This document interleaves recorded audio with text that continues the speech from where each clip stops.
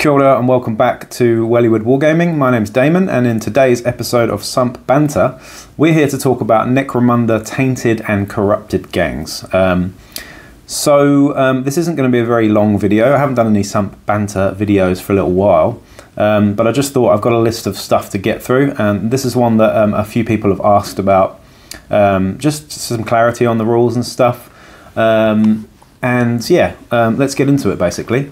So, what is a corrupted gang in Necromunda? What is a tainted gang in Necromunda? Those are two words that we're going to be using here. Now, a corrupted um, gang would mean that um, chaos, the forces of chaos, have um, taken hold and um, you've taken root in your gang's sort of structure. And a tainted gang is is Xenos tainted. So what I mean by Xenos tainted is they're they're tainted by an alien um, infection, basically, and that, of course, is Genestealer Cult. So um, these are the two different ways that your house gangs, uh, I'll, I'll, say it again, house gangs can be um, twisted by evil.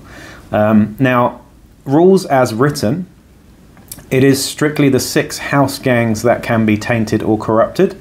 Um, of course, Necromunda, there are a lot of rules that are written in certain ways, and really it's down to your arbitrators. So, if you're in a campaign and you're running enforcers and you want them to be Genestealer cult tainted enforcers, then sure, just ask your arbitrator. I've actually had a gang of Genestealer cult enforcers. It wasn't particularly broken. But yeah, if you're abusing the rules in any way, then that's when it becomes questionable. Always ask your arbitrator. If you are the arbitrator, just make sure you're not doing anything too cheesy. Um, but yeah, we'll, we'll get into it exactly now, um, and just I'll just highlight exactly what I mean by tainted and corrupted gangs, I suppose. So there are obviously the ruinous powers of chaos. There are four chaos gods: Slaanesh, Tzeentch, Nurgle, and uh, Khorne. And they all have their own different flavour, as you know. If you've been a fan of um, Warhammer 40k or Warhammer in general, uh, throughout the years, the Chaos Powers have been going for a long time. I'm even old enough to remember Malal. Um, some of you won't, um, but we, we don't talk about Malal anymore, so there you go. Um, but yeah, you've also got um, the, the Genestealer. Uh, we all know what Gene Stealers are. They, they sort of first were famous from Space Hulk, I believe, the board game, but yeah, of course they're attached to the, um, the Tyranids in 40k as well. So yeah. So if you were to become a, if you were to choose to become a corrupted or tainted gang, it adds a lot of flavour to the game. I think um, there are more pros than there are cons, and I'm going to go through what those are exactly in a minute. And they're quite different depending on whether you are indeed Genestealer cult infected, tainted, or um, or chaos corrupted. Indeed. Um, now, of course, you you wouldn't be able to corrupt a chaos helot gang because they are already corrupt.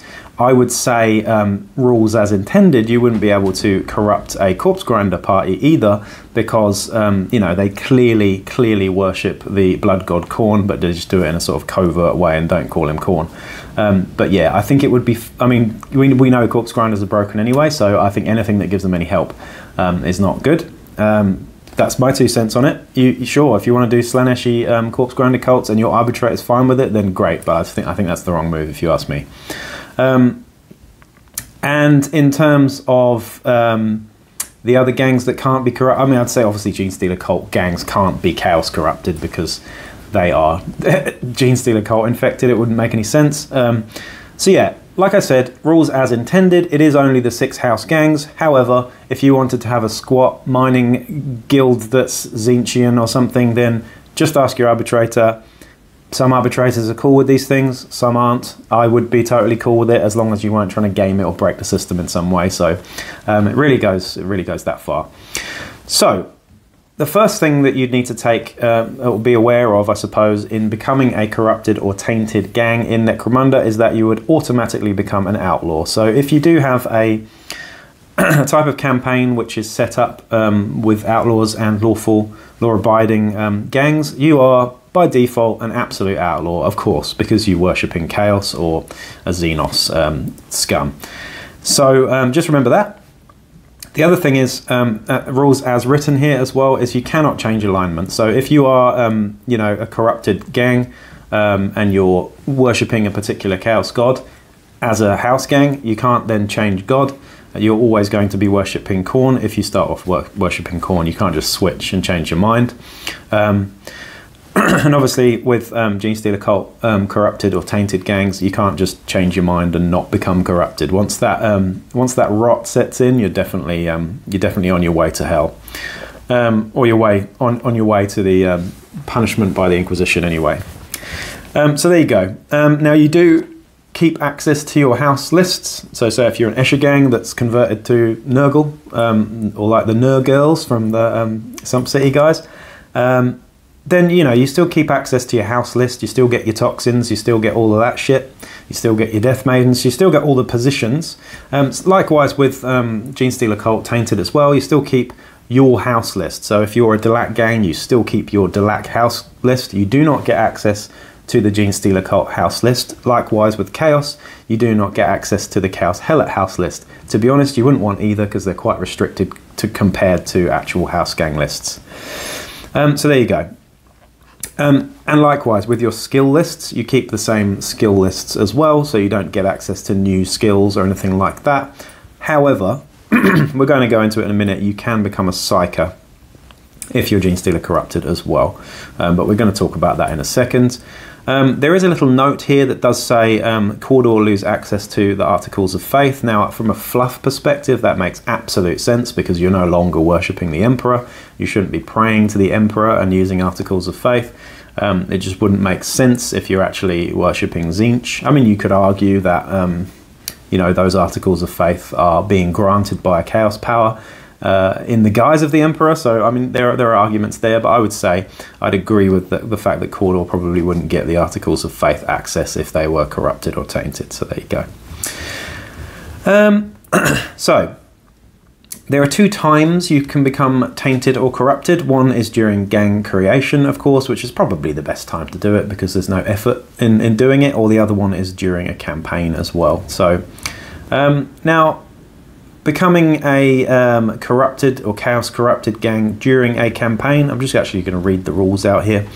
Um, if you're doing it during a campaign and not a creation, your leader must successfully make the dark ritual post battle action and become outlawed, of course, even if you fail that action. Um, now, this is the same dark ritual action that we talk about with our Chaos Helots. So, if you want to check that out, you can go and see my guide to Chaos Helot gangs as well for more details on the dark ritual itself. So, even if you fail that, you still become outlawed. You just don't get the boon from chaos. But if you pass, um, you um, you know you uh, you turn into a corrupted gang there as well. It does say here. A gang member is turned into a spawn after the leader has performed the dark ritual, regardless if the dark ritual was successful or not. So, Chaos Spawn are actually quite hard to come by. Well, not hard to come by, but you need to lose a lot of games, really. You need to have a lot of negative multipliers to be able to get a Chaos Spawn in the actual regular Chaos Helot list. However, here it's saying that if you do that Dark Ritual and even if you fail, you still get a Chaos Spawn. So for me, that's a fantastic deal. Um, so you will get a Chaos Spawn. Chaos Spawns are Chaos Brutes, basically. You roll randomly for their skills. Again, if you want to find out more about them, you can check out my um, Chaos Helot video as well. Um, so that's pretty cool by itself. We're just talking about the Chaos Corrupted um, pathway here, not the Gene Stealer one. So um, there you go. But the benefits that you get as a Chaos Corrupted gang, once you've performed that um, dark ritual and you have become a fully chaos uh, or chaotic um, gang, um, and you've picked your one of the four um, chosen gods, whether it be Nurgle, Khorne, Slaanesh, or Tzeentch. Um, first of all, your lasting injuries now become mutations. So there's a separate um, there's a separate table for mutations, um, which is pretty cool. I might actually go through those in a minute uh, and just compare them to the um, lasting injury versions of events. Um, it's pretty cool, like really fun and really fluffy. Some of them are actually really good as well. So like you're not just nerfed, you get a little bit of a um, little bump as well, which is quite cool. Um, you can perform your dark rituals post post battle like any other Chaos Helot gang, so you will still need to perform those dark rituals and pass that test to remain in favor of that god. So you're still an outlaw and you're still kind of chaos corrupted, but you don't have the, the, the, bonuses from that chaos god unless you keep passing those rituals. So remember that. Now, passing the ritual, obviously, the more games you win, the more rep you get, stuff like that, and the more um, you know captives you have, it's easier to to um, get those rituals. Of course, if you're praying to the same god, which you have to be. Um, as a corrupted house gang. Um, you also get bonuses for that too. However, if you're losing reps, you're losing game and stuff, um, you, are losing games, you do have negatives to that role as well. Um, but there you go. You have to be doing that. Um, so, the other thing is, and I'm not really a fan of this, is that you get immunity to insanity across the board. Now, again, rules as written here, it does say that your entire gang gets immunity to insanity, which didn't used to be that powerful because insanity wasn't really a thing, but now with all the psychic powers, tactics cards, psychoterica that involves insanity, I would say that's too powerful. If you look at the Chaos Helot gang, um, the only characters or positions or fighters that are in a Chaos Helot gang that are immune to insanity are your champions, your witch, and your leader, not your gangers. So I would go with that and actually transfer that and just say that your champions, your leader, uh, are the ones that are immune to insanity, not your gangers and juves, etc. I think that would be silly. Um, it's too powerful, honestly. Um, so there you go. That's my two cents on it. But it does say rules as written that you're immune to insanity flatly across the board. So there you go. You cannot, again, just reiterating, you cannot seek the favor of another god.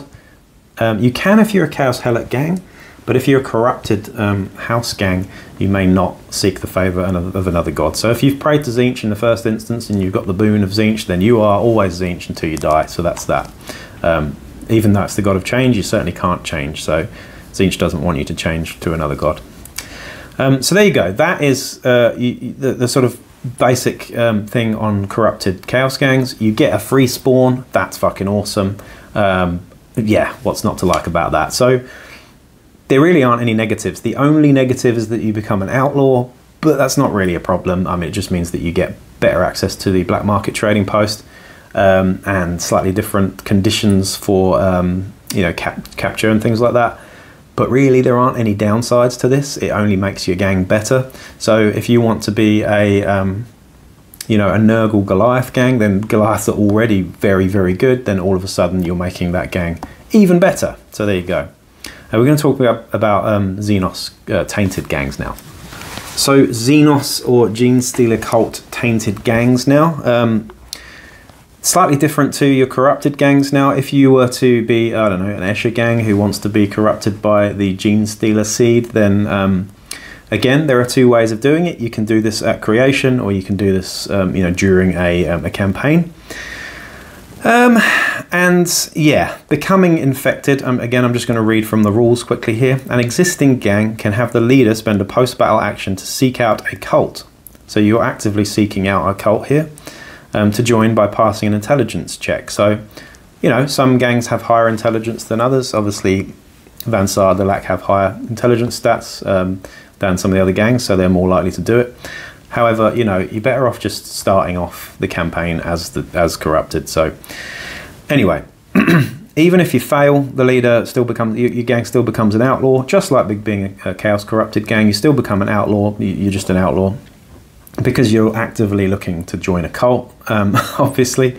Um, and it does say here if there is a Genestealer cult gang in the campaign and that gang agrees, the prospective cult can become infected without passing the intelligence check. So that's a cool little bit of fluff there as well. So there you go. Now, the infected benefits, the, the gene stealer tainted benefits here are slightly different to your Chaos corrupted benefits, but we are going to go back and talk about the corrupted benefits in terms of the four gods and the boons that they give you as a gang in the game, which are pretty good. Now, the infected benefits is that your leader can become a psyker. So um, it, it, really depends what your leader is, but of course, being a psyker means that you're using your willpower stat to uh, activate psychic powers. Um, of course, a Goliath leader does not have the best willpower. However, however, it is pretty funny having a Goliath leader with mind control. So do it. It's fun.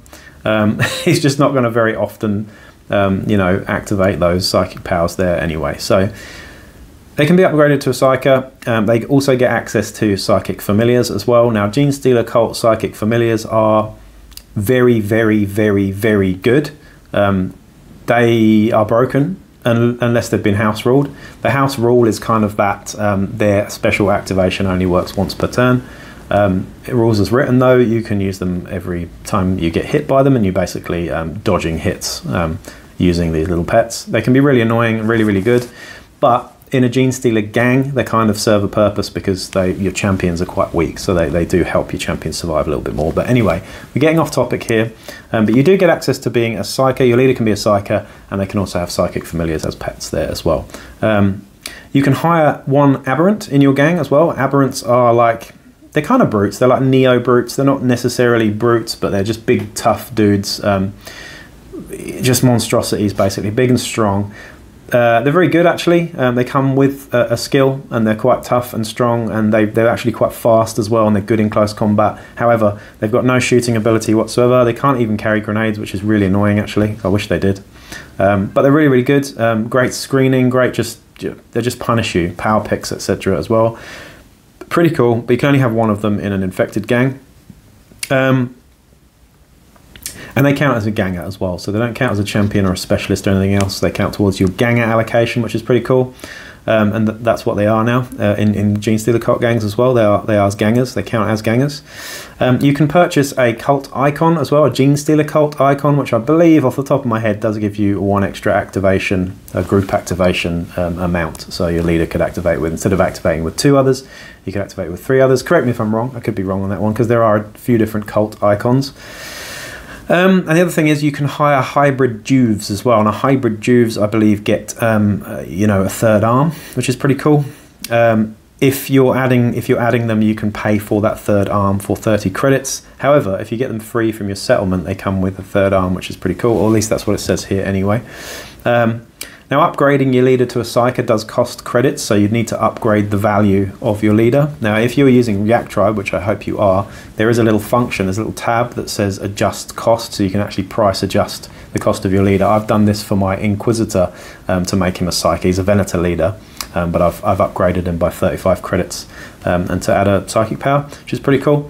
Um, but you can do that here as well. And it's the same process but for some reason it's 40 credits instead of 35 to make them you know a, a psychic leader. Um, and it's a post-battle action to actually do that as well. You can't be in recovery. So um, you can't just start being a psychic leader apparently according to the rules here. You do need to um, make it a post-battle action um, and and spend the 40 credits um, on doing that. Um, so you become an unsanctioned psyker, of course. You are not a sanctioned psyker because you are a cult fanatic nutcase, and you get access to a, a cult weird power. And it does say in the rules here, cult weird powers. Now the cult weird powers are quite specific. I think there are only six. However, again, talk to your arbitrator now that the Book of the Outcast is out. Talk to your arbitrator. I would say telepathy or telekinesis are the two tables that really fit um, Genestealer cults in general, I'd say, particularly telepathy, which is arguably the best skill tree anyway. Um, but always ask your arbitrator before you make a decision on taking something like that. Um, and you you know you have you have access to weird powers as a primary skill. So you'll have your leadership, whatever your special speciality is for that house gang, and then you'll also have weird powers as your access uh, as a primary as well. Um, so that, in a nutshell, is Chaos Corrupted gangs and um, what's the word? Um, Genestealer tainted gangs as well. I'm just going to go quickly to look at the um, the favors of the Chaos Gods here because it's just worth touching on quickly. If you're having ideas already, if this, if you have if you don't know about this stuff, and you're suddenly going, oh shit, this is awesome. Um, modeling opportunities wise and um, fluff wise, you can have a fucking Orlock Khorne gang. You can have, you know, some really cool conversion ideas here and some really cool game ideas as well um, from a narrative perspective. But also, you know, you can make your gang better really just by um, just by doing this with either Xenos or Chaos Corrupted gangs here too. So, in terms of the um, you know, in terms of the god's favor that you that you get, um, if you are um, Khorne, once per round, you can re-roll a failed wound roll, which is really, really good if you want to deal more damage. Do a little bit, you know, it's very thematic. It goes with Khorne very nicely as the Blood God. Um, your Chaos Spawn gets plus one strength, which is fantastic. Um, and your leader gets plus one attack. So if you're a close combat focused gang, Khorne is the thing. Um, but not necessarily. I mean, you're still getting that re-roll to wound as well. But you know, obviously that plus one strength on the spawn is nice. Plus the plus one attack on, you know, if you do that with an Escher leader, you've got four attacks base. So let's think about that for a minute. Four attacks base with a shock whip or something, very nice. Nurgle, arguably I don't know. I think it's one of the best ones personally, but they all they all have their merits. Nurgle, um, of course, is the opposite of Khorne, so you get to re-roll once per turn a recovery roll, um, which is really cool for keeping your leader alive and stuff. Your your spawn gets plus one toughness, which is great too, uh, and your leader gets plus one wound. So if you're an Orlock Nurgle um, gang, then of course your leader has four wounds out of the box, which is absolutely insane. Um, yeah, wow, yeah, there you go. So we did the, the example with Khorne with Escher there, four attacks. Nurgle with Orlock, four wounds, nasty. The next one is Slaanesh, my favourite Chaos God personally, and I think a lot of people's as well. Um, now, this one's really cool. So once per round, you get to activate two fighters instead of one. Now, it's worth noting that those two fighters can be anywhere on the board, so that's there's some real there's some real possibility for some cheese and some shenanigans there. It's pretty good, um, you know, really really good if you think about it. Um, loads of you know loads of um, examples that I can think of, but I'm not going to name them all right now. Um, your chaos spawn instead of because they move randomly, they get d6 movement. That's it. All your chaos spawn get d6 movement your Slaaneshi Chaos spawn gets 2d6 movement and you pick the best. Um, which is cool. So it means you're always moving higher than the regular spawn. Uh, and your leader gets plus 2 movement. So yeah, so you're, you, um, I think all leaders have movement 5. There isn't a, the, the, only movement 6 leader in the game is the Ashwaste Nomads Chieftain, uh, who's movement 6, but you know, rules is written, he can't be corrupted anyway. But you know, just thinking about a Van Saar leader suddenly has movement 6, which is cool. Um, you know, a Goliath leader goes from movement four to movement six. Very tasty indeed. I can't really imagine. Oh, I don't know. Slaaneshi Goliath is quite cool, like flesh cult, um, I suppose. Kind of almost like the Conan the Barbarian cult, actually. Thinking about it, that would be a really cool theme with those two guys with the big axes and shit and the snake guy. Anyway, off topic again. Um, I'm just having some ideas already. Um, and the last one is, is the god of change, Tzeentch. Um, Tzeentch is my least favourite Chaos God, to be honest. Uh, I've always I've always found that, but the boons that you get for Tzeentch is pretty cool. Um, you ignore once per turn again. You ignore all negative hit modifiers for a shoot basic action, so pretty cool. You can shoot someone in hard cover um, as normal, uh, which is really good. I don't think it's the best one out of the bunch, but it's still really good if you are a shooty gang, maybe Van Saar, something like that or you've just got some powerful heavy weaponry and you want to just shoot someone in the open instead of being in hard cover, pretty cool. And once per turn, it's good. Um, your Chaos Spawn gets a 4 plus save, so your Chaos Spawn doesn't actually normally have a save, but they're really hard to kill anyway. But your Chaos Spawn suddenly has like carapace armor, quite scary. Um, and this is the best bit your leader gains a random weird power. Um, now, it does say here in brackets possessed hive or ghast table.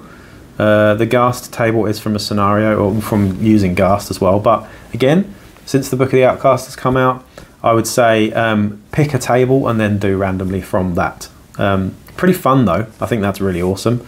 Um, if I was an arbitrator, I would say because it's Tzeentch and it's the god of change, I would say if you're if you've got a Tzeentch gang, pick a random one each game. That would be cool. Um, don't have the same one for the entire thing. I think a random one for each game would be really, really fun, really fluffy, really thematic, and just awesome. So there you go.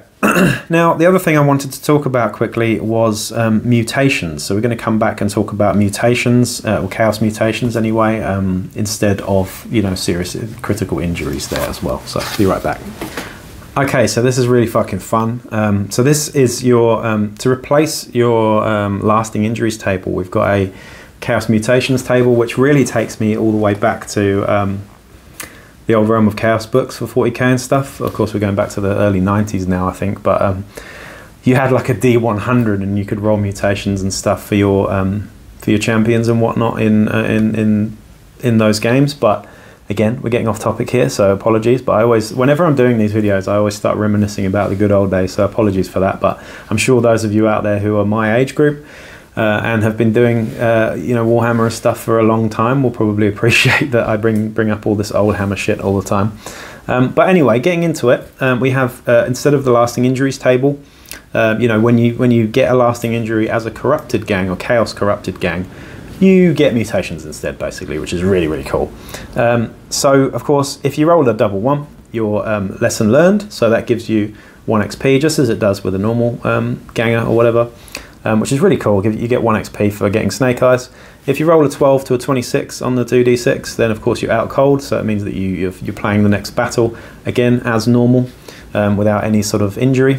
Um, if you get a 31 to 45, again, same thing, grievous in- injury there, so you go into recovery, nothing else happens, but it just does mean that you miss the next game. And um, 46 is humiliated, which again is the same. Now, if you're humiliated as a chaos um, corrupted gang, you are instead getting something called hungering pride. So this is pretty cool. I'm going to read this out to you now. So you must activate before other fighters in the crew. So this fighter always activates first. So that can really stuff up your plans. To be honest, it's so bad that it makes you want to just kill that fighter. But if it's a very powerful champion or leader, then you're going to have to think about that one. Um, if other friendly fighters also have this mutation, choose the order. So you can choose the order if you have multiple, which kind of takes the edge off it a tiny bit, but you gain 1 XP for taking an enemy leader or champion out of action. So that's cool, but yeah, I mean, yeah, that's it's it's it's a funny one, um, but that's what humiliated is for um, for chaos corrupted people. They get hungering pride. Now, if you roll a 51, which is normally a head injury, you get dark madness. Um, so pass an intelligence test each, each activation or roll a d6 to determine the first action. So that basically your actions are random if you don't pass an intelligence check. So on a 1 or 2 you get to move. on a 3 or 4 you get to shoot or fight. And on a 5 or 6 no action. So a 1 in 3 chance twice um, to do nothing at all and just stand around there going Duh. So that's a head injury. Um, an eye injury. So that would be normally ballistic skill nerf, I believe. Uh, instead, this is 52 by the way, you get best bestial, bestial senses. Um, you can't start or take part in group activations at all, but you count as having a bioscanner, which is kind of cool. So you got a piece of war gear there for free, but you can't ever be part of a group activation. That's not too bad, but it's not great either, because um, sometimes you're going to need those group activations. The next one is hand injury, which I think is weapon skill normally, so minus one weapon skill for your normal type of ganger. Here, though, you get a disturbing appendage. I can think of a few disturbing appendages, um, but this one counts as a knife that can't be disarmed or destroyed. So you get a free fighting knife basically, uh, and you add minus one to hit modifier when using unwieldy weapons um, with weapon skill or ballistic skill. So not bad if you don't have unwieldy weapons. Um, you just get a free knife instead of minus one ballistic skill um, or weapon skill or whatever. Not bad at all. Uh, the next one is um, hobbled, now hobbled I think is minus one movement normally. This is 54. Um, and you get warped limbs. So you're still minus one movement, as you are with hobbled normally. However, roll 3d3 and choose the highest when charging instead of a single d3. So it's actually quite a big um, boon, that one. It's quite good. Um, it almost guarantees that you're getting that high charge range, but you're still minus one movement. So it's not too bad, but it takes the edge off the minus one movement, that's for sure. Uh, the next one, 55, is spinal injury. So normally a spinal injury, I think, is strength. Am I right? It could be strength or toughness. Strength, yeah. Now this gives you crooked body. Uh, add a minus one hit modifier to ranged attacks at long range. You can't wear armor of any kind. Um, so that's annoying. So if you if you have armor and you get this, you'll have to get rid of the armor, um, which is be incredibly annoying if you had um, you know heavy carapace armor, you'd have to you'd give that away or sell it or something. I don't know. Um, I haven't really thought about it to be honest, but you'd still, I think, rules as intended. I think you'd still be able to get um, field armor. So um, yeah, why not? Because that's not wearing it, is it? Uh, the next one, enfeebled, I think is normally minus one toughness. This is 56. Now this is twisted flesh. Remove one flesh wound at the start of each activation. Can't benefit from a bio booster, Medicae kit, or assistance from friendly fighters when making recovery tests. Um, remove one flesh wound. That's pretty cool. So you, you yeah you get one flesh wound back. It's really amazing actually. Um, and, but you can't benefit from a bio booster, a Medicae kit, or assistance from friendly fighters when making recovery tests. That's fucking awesome. I mean, normally minus one toughness is terrible, but that's nowhere near as bad. Um, 6165 is a critical injury, just the same, so you'd still need to take them to the Doc, etc. Um, you know, or the rogue Doc if you've got a hanger on. And 66 is, of course, that lovely memorable death, which always seems to come up when you really least want it, and it's usually on your leader in game one of a campaign. Uh, from my experience. Doesn't happen to me that often, touch wood, but I've seen it happen to a lot of people in our campaigns when they their leader dies in game one or game two, and it's just horrendous. So, um, yeah, but there you go. That's 66. Um, that's it. That's all I'm going to talk about with corrupted and Genestealer um, tainted gangs there. I hope this was helpful. I hope that's shed some light on a few things. If there's anything I've missed, then I'll, I'll go over it in the next video or whatever. But um, there's a few ideas for you. I think the most exciting thing for me when it comes to corrupted and tainted gangs it's just giving you more more options more versatility particularly in the modeling the hobby side of things i love the idea of creating i don't know um, you know, a Tzeentchian Delaque gang, for example, or all sorts of things that you can do, and you can combine, you know, kit bash bits of Age of Sigmar and demons and stuff. You could use, um, you know, familiars instead of pets, and I don't know, all sorts of shit. Um, very, very cool. Some really good stuff there. I think the Chaos Corrupted um, shit is more, more, you know, there's more flavour there, and particularly getting a free Chaos Spawn is really lovely there. But it is clearly better than the Chaos Hulk, Chaos Helot list. Um, so I think um, arbitrators have to really look at that and go, particularly with the insanity immunity across the board. I think that's a problem. But um, it's better being a house gang um, with Chaos Corruption or Xenos Corruption than it is being a Genestealer Cult gang or a Chaos Helot gang. So it really is because the house gangs are so much more powerful in terms of tiering. Um, so think about that you know, don't be the cheesy guy. Don't just do it because you want to do it because it's good in the game. Do it because it's fluffy. Do it because it's fun. Do it because you want to paint and model your guys in a particular way. Um, don't be a dick. Basically, that's, that's all I'm asking you. Um, there will be those of you out there that say, "Hey, you know, I want to just be the best at this game," and that's fine. But again, I say this in nearly every video. Necromunda isn't built for competitive play. If you ask me, it's built for narrative play more you know, still be competitive, but just don't be a meta gamer and don't try and break the system too much with, with stuff like this because you really can abuse it in so many ways. Um, so there you go. Um, that was today's episode of Sump Banter. I'm going to be back with a few more videos pretty soon. I've still got my last um, gang guides video, which is the Delaque um, gang guide, but I'm, I'm waiting to borrow the book off Selby. So um, he was going to bring it around last night and he didn't. Um, but yeah, I'll borrow that book off him because I actually don't own it, sadly. I can't afford all these books. They're very expensive in New Zealand. They're nearly 100 bucks for a hardback book. So I've got a few, but I haven't got all of them. Anyway, that's enough from me. I'm rambling again. Um, peace out.